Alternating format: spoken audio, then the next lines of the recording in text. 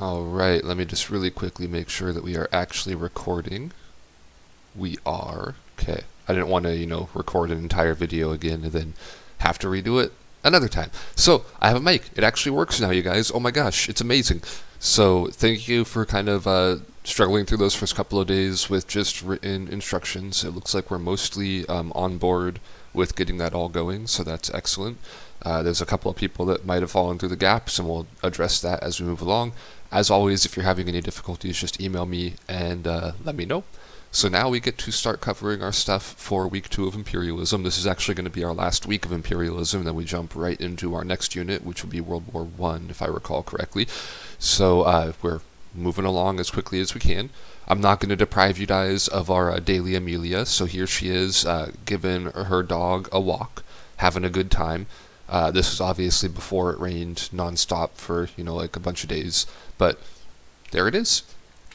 Our topic for today, as you can see with this horrible background, I have a different uh, PowerPoint program, Open Office at my house, and uh, it screws some formatting. So this is actually imperialism in China.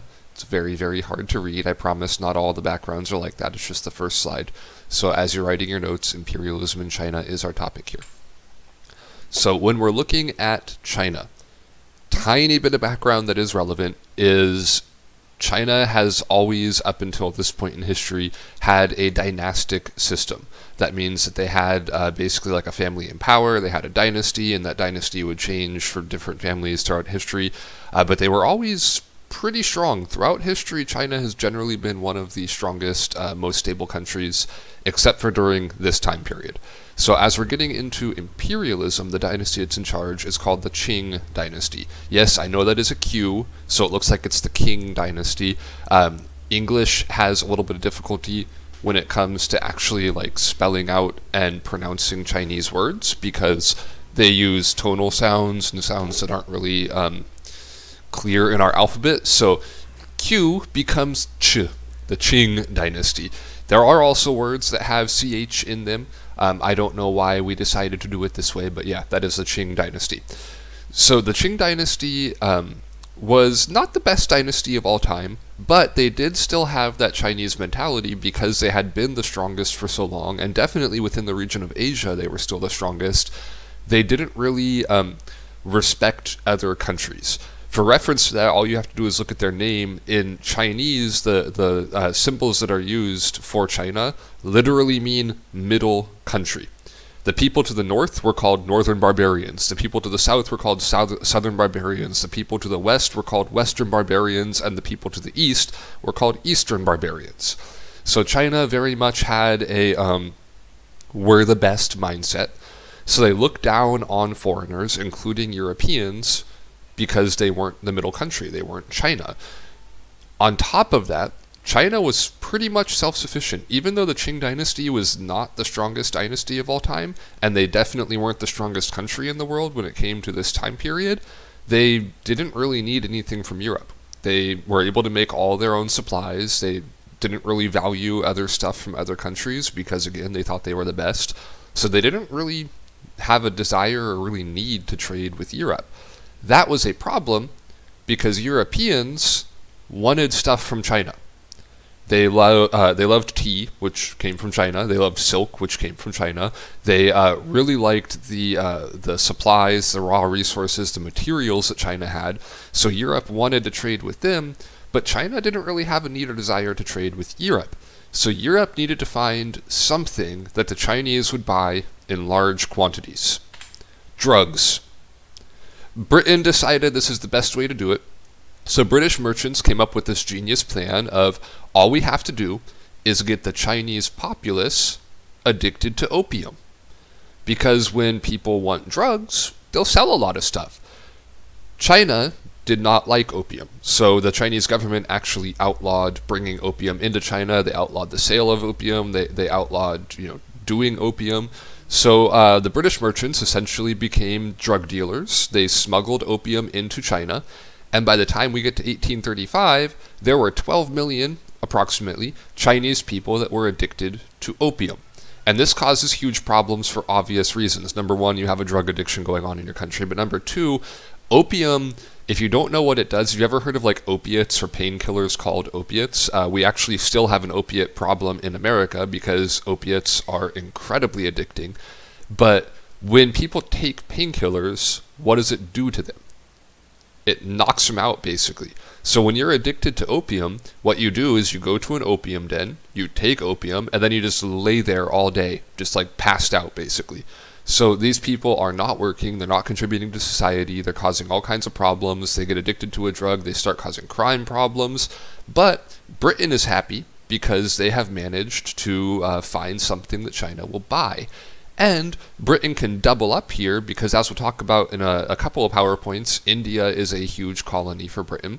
So, uh, what Britain can do is they can grow the opium in India and then just ship it directly into China. No problem. China doesn't like this. So China goes to Britain and they go, hey, stop. And Britain goes, I don't know what you're talking about. We're not doing anything wrong. And China goes, no, seriously, stop. You need to cut it out. And Britain goes, yeah, how about you make me? So uh, this leads to the first of the Opium Wars. There's actually two of them. And in 1839, then, we uh, Opium War time.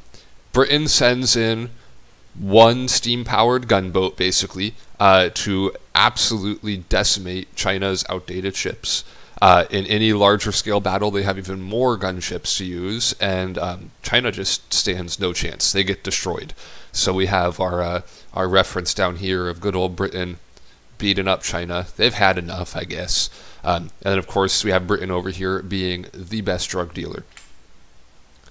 We see during these opium wars a clear display of how imperialism looks. Anytime you have an industrialized country going against a non industrialized country.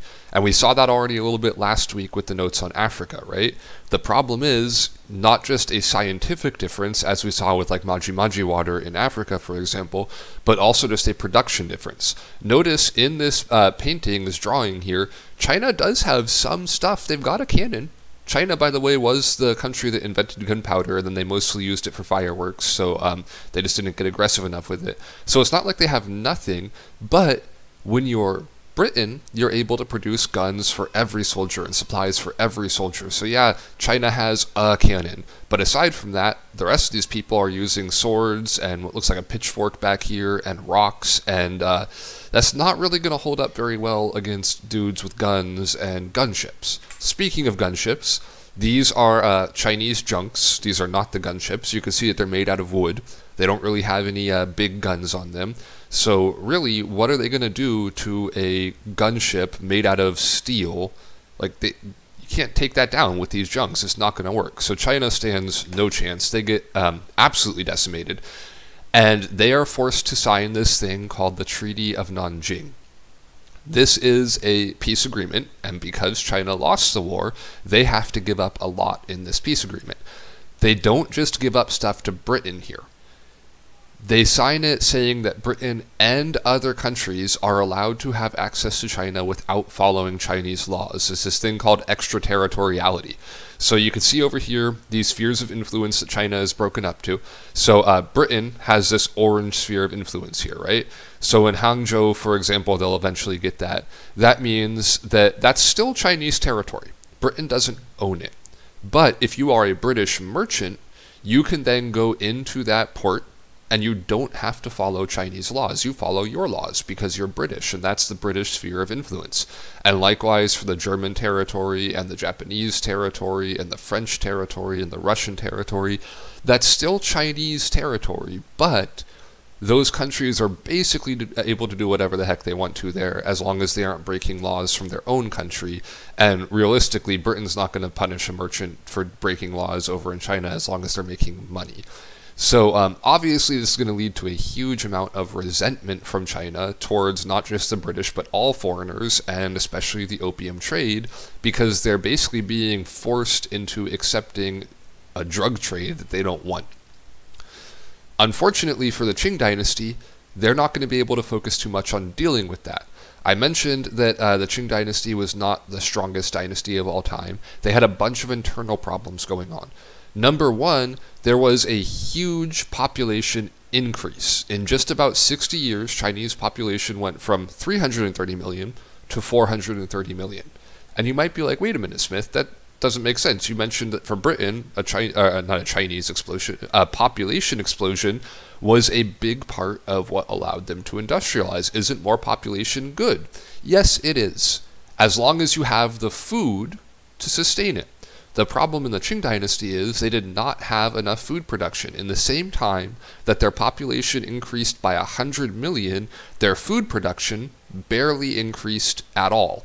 A big part of that is from flooding. Uh, it's always been a problem in China because their, their river system is uh, very expansive and prone to flooding.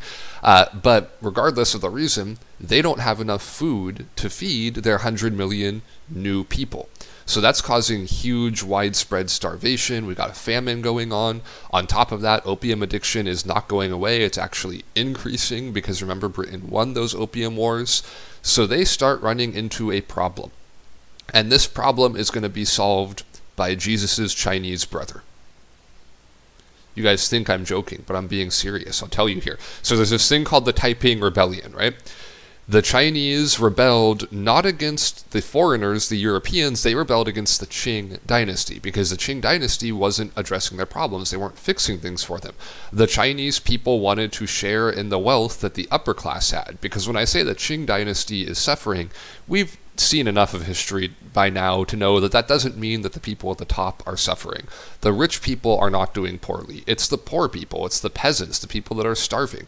So the Chinese people say, hey, we want no more poverty. We want to share in the wealth. We want to make this work.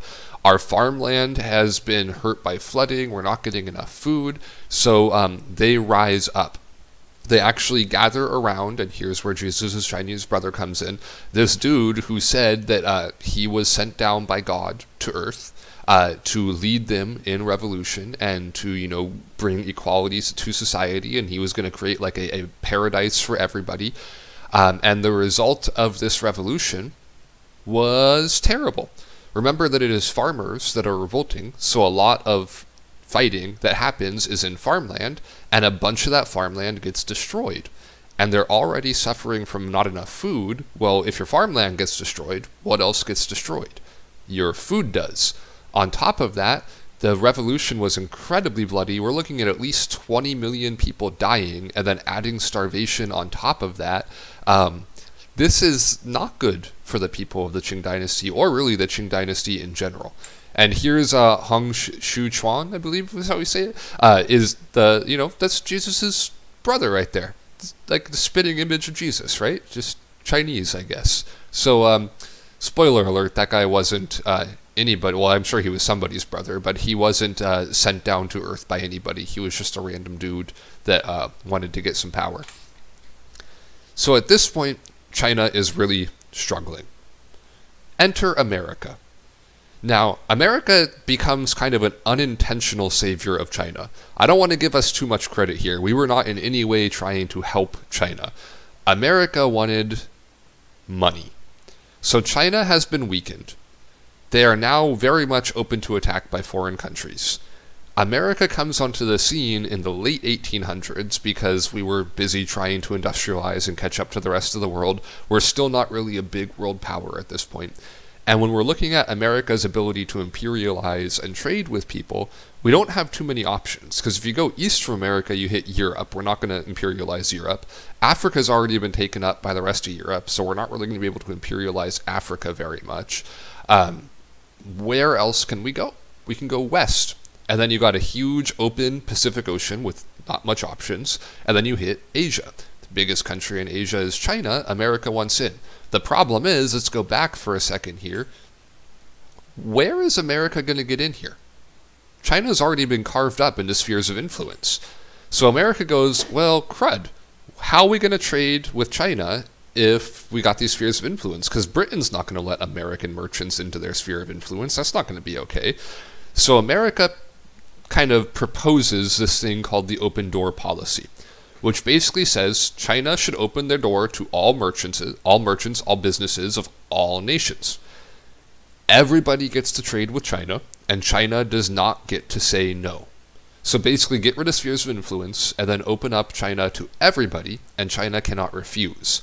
And America's really sneaky in how we do this because nobody except for America really wants to do this. But what we do is like we go to France and we're like, hey, uh, Britain and Germany and Russia, they already agreed to do this. Like you should probably hop on board as well. And then we go to like Britain and we're like, hey, we definitely just got France on board with this. Like you got to hop on. We basically told everybody that everybody else is okay with it without anybody actually being okay with it. And then we just kind of declared, okay, we're doing it. And then once we started doing it, everybody was kind of just forced to agree with it. So uh, we lied our way into opening the door up to China. Here's where the unintentional savior part of China comes in. Because previously, if Britain wanted more territory in China, they'd have to go take it from China. And maybe they're going to go take French territory. So France would be upset about that, but Britain on their own can take France. But now, everybody gets to trade with China. So if Britain, for example, decides they want exclusive trading rights in one part of China and they go try to take it over, what's going to happen? The rest of Europe and America are going to fight them over it. And Britain might be able to take one or two European countries, but all of Europe plus Britain, eh, probably not. So this actually protects China from colonization because no individual country can come in and take over. They are, however, forced to trade with people and you know all that stuff, but eh, you do what you do. China has one more problem. It's the boxers. So those poor peasants, those workers are still not thrilled with their lot in life. They still really don't like foreigners, and they really don't like foreign ideas, including Christianity. So they're very anti everything foreign. And some of them form this group called the Society of the Righteous and Harmonious Fists, which uh, is a really cool name, but is also really long, so they just get called the Boxers. And um, they decide that they're going to overthrow the Empress of the Qing dynasty, set up their own government, and kick out all the foreigners. Now, uh, we talked about, well, I mean, it was in notes, we didn't talk about it this way, but last week you guys looked at uh, Maji Maji water. And I mentioned in that PowerPoint that this isn't just like, you know, an African thing, like, haha, those silly African tribes, they thought that, like, magic can protect them from bullets. Most pre industrial societies had beliefs similar to that. The Boxers are no exception. The reason they were called the Boxers is they did like a special uh, martial arts routine. Like, you've ever seen like old people in the park doing Tai Chi or something? Kind of like that, where they, they go through like this movement and they have these like uh, charms they put on them. And they believed if they did this routine and they wore these charms, they would be immune to bullets. Much like Maji Maji water, they are not actually immune to bullets. So, uh, the Boxer Rebellion gets absolutely crushed, not just by the Qing dynasty, but a, a coalition of Western powers and Japan. Japan's going to be kind of included in the West on this one. Uh, roll in, they annihilate the rebellion, and it fails to get rid of the, the Qing Empress. That being said, it doesn't actually fail to get rid of the Qing Empress because even though the revolution itself failed, there's still a huge, strong sense of nationalism in China. There's a strong sense of anti Qing dynasty uh, mindset, and it weakens the government so much that the Qing dynasty does actually lose power. This is the end of a millennium, actually multiple millenniums, because the first dynasties in China were back in like 2000 uh, BCE. So they've been around for like almost 4,000 years at this point. Uh, and that's just gone now. That's done. There's no more dynasties. The Qing are out. They're going to get a new government. Um, but it's still going to be controlled basically by the West because, as our final bullet point here says, China does not successfully manage to fight imperialism they get destroyed. So they are not really going to be able to do much uh, in terms of that, and that is going to be a big uh, feature going forward into Japan's involvement in this region. So uh, we can see here the boxers, they're getting outboxed by Uncle Sam here with his uh, gunboat boxing gloves. Um, sure, why not? So what you guys are going to do for the assignment I assign after this is there are uh, some cartoons I'm going to post up there. You're going to look through them and you're just going to do some analysis of them. You are eventually going to be making your own political cartoon when we get to the interwar years. Um, that'll maybe be in class or if um, our remote learning gets extended, it might be online. Either way, uh, we want to start kind of looking at political cartoons and breaking down like what's going on with them. Keep in mind you're going to be getting a lot of symbolism in there. Like obviously some of these guys are um, labeled for who they are, but then you also get like clearly that's going to be Britain, right? It's a lion. He's got a red coat on. Um, the the rooster over here is actually France. This is the the animal symbol for France. A lot of times countries are depicted as animals in uh, these kinds of things. Um, and it's all about symbolism, right? We have China being dead here. They're fighting over the dead corpse of China, and they're fighting each other, right? So they're kind of tearing each other apart over trying to get into this Chinese territory. So you're going to go through that, follow the instructions on it, finish it up, and uh, then we will move on to Japan and uh, India being our other ones for this unit. Thanks for listening.